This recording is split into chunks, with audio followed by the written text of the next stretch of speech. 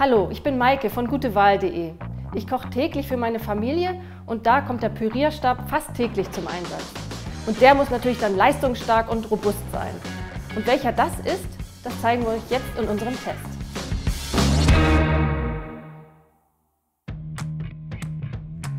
Wir haben für euch 10 Pürierstäbe zwischen 20 und 130 Euro getestet.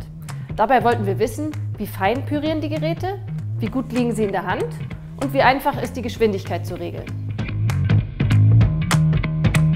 Die Pürierleistung der Mixer haben wir anhand von Bananenmilchshake, Gemüsesuppe und grünem Smoothie getestet.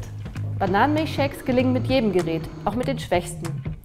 Bei Suppe sieht es schon anders aus. Die starken Geräte mit 800 Watt wie das von iCook oder Mulinex, die liefern ein feineres Ergebnis als schwächere Modelle mit 500 Watt wie das von WMF. Eine Ausnahme ist der Zauberstab von Eske. Er hat zwar nur 200 Watt, dafür aber eine enorm hohe Umdrehungszahl von 17.000 Umdrehungen pro Minute. Übrigens, mit Mixfüßen aus Metall kann man auch in heißen Töpfen pürieren.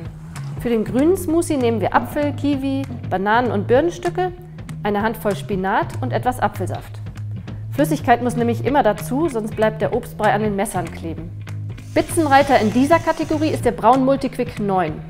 Mit seinen 1000 Watt püriert er einen schönen cremigen grünen Smoothie. Der nur halb so teure iCook ist allerdings fast genauso gut. Leistungsschwächere Geräte wie der Bosch oder iGostar können die Spinatfasern nicht komplett zerkleinern. Aber Fruchtsmoothies ohne Spinat oder Salatblätter schaffen alle. Ist der Stabmixer ergonomisch geformt und schmiegt sich gut in die Hand, arbeitet es sich einfach leichter, wie zum Beispiel das Gerät von Bosch.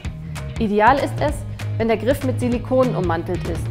Dann rutscht man selbst mit feuchten oder fettigen Händen nicht ab. Am einfachsten zusammensetzen lassen sich Geräte mit einem Steckverschluss wie beim Bosch oder Braun. Bei Drehverschlüssen muss man etwas rumprobieren. Der K-Mix von Kenwood lässt sich sogar sehr schwer öffnen und schließen. Die Geschwindigkeit sollte man idealerweise mit einer Hand regulieren können, denn die andere hält ja den Mixbecher fest. Die meisten Geräte haben zwei Tasten. Eine für den sanften Start, für den man oben noch die Geschwindigkeitsstufen einstellen kann. Das ist allerdings mit einer Hand schwierig. Die zweite Taste ist die Turbostufe. Da läuft der Pürierstab gleich auf vollen Touren. Am besten hat uns die neue Technologie gefallen. Die Geschwindigkeit wird intuitiv über nur eine Taste geregelt. Je stärker der Druck, desto mehr Power. Das klappt außerordentlich gut beim Philips Speed Touch und beim Braun Multiquick 9. Unsere gute Wahl ist der Multiquick 9 von Braun. Ein Top-Gerät in allen Kategorien und mit seinen kraftvollen 1000 Watt extrem schnell. Und obendrein hat es noch bewegliche Messer.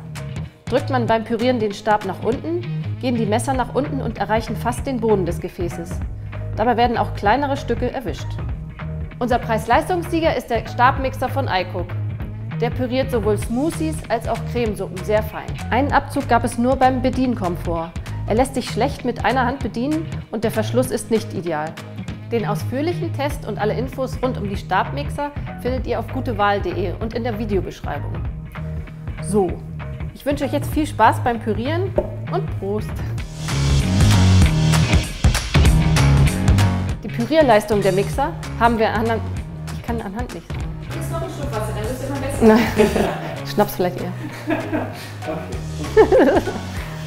mit seinen kraftvollen 1000 Watt ein wirklich kraftvolles Gerät. da fiel mir gerade nichts ein. Okay, wir machen es nochmal. Ja. Ähm,